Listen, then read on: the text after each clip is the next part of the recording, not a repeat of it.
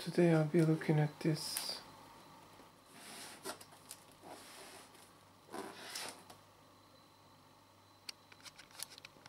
Custard maker